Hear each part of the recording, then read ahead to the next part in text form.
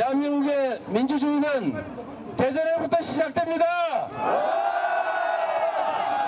우리가 해방 이후로 헌법만 써놓고 한 번도 지켜보지 못한 모든 사람이 공평하고 정의로운 나라 힘있고 많이 가진 사람만 자유로운 나라가 아니라 모두가 진정으로 자유로운 그런 나라 우리가 써놓긴 했는데 한 번도 못했습니다 그렇지 않습니까?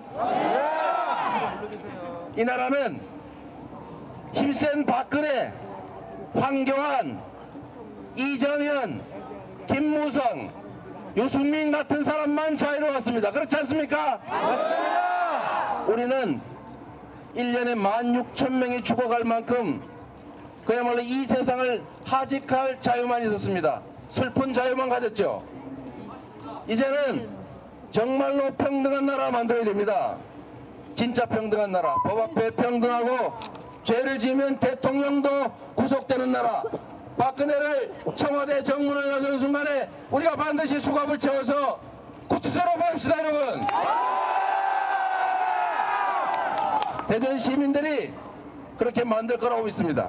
부산에서 광주에서 광화문에서 대한민국의 5천만 국민이 이번에야말로 이 나라가 진정 평등하고 자유로운 나라임을 증명할 걸로 믿습니다